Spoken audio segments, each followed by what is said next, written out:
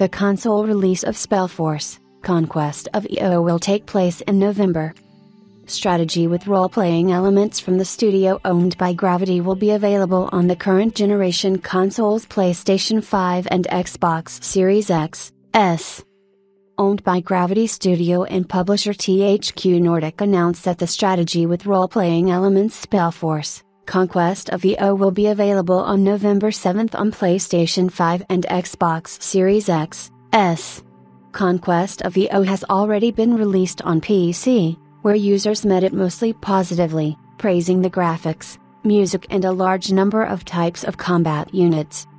Try on the mantle of your mighty predecessor and become the heir to his mysterious magic tower in a turn based strategy game set in the fantasy world of Spellforce, reads the official project description.